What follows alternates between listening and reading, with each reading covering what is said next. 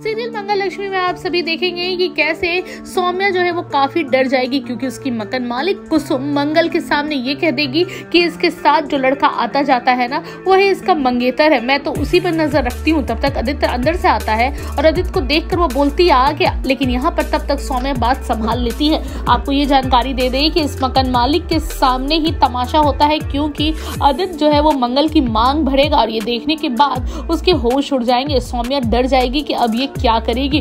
Well यहाँ पर आपको बता दें कि वो कुछ बोलती इसके पहले सौम्या जो है कुसुम, मंगल और आदित्य को जाने के लिए कह देती है। ये तीनों वहाँ से निकल जाते हैं और इसके बाद जो है सौम्या की वाट लगती है। उसे घर से बाहर निकलने के लिए कहा जाता है। वेल अब देखना ये है कि इधर दूसरी ओर तो शादी की तैयारियाँ चल रही हैं और यहाँ पर लक्ष्मी कार्तिक बढ़ चढ़कर हिस्सा भी ले रहे हैं। और आपको बता दें कि यही शादी जो है वो शो का टर्निंग पॉइंट बनने वाला है। देखना दिलचस्प होता है कि यहाँ पर सौम्या की चाल जो है शादी में मंडप में बैठने की वो कितनी कामयाब हो पाती है।